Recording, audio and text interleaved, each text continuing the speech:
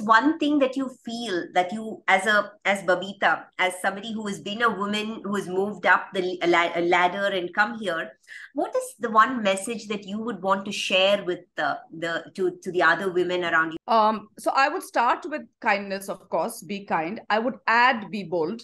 Okay. Uh, and i would add this whole thing of really striving to be excellent at whatever we do. Beautiful. If that is not there, we have no excuse to say that we are not recognized, we don't have an identity, we have not gone up our career path. That needs sacrifice, that needs trade off. And I feel if we can say that we are striving for excellence, that in whatever we do, we want to be at the top and we are there.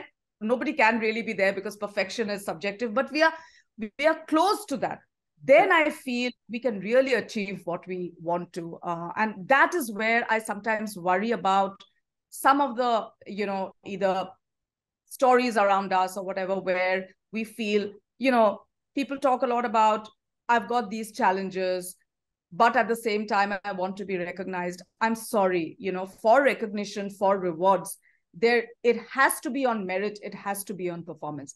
After that, when that is all equal then we can say yes that's let's look at what that person has also been through. And maybe we need to factor that in. But that cannot be the first step or the first story when we want anything out of life. So i would say be kind be bold and always strive for excellence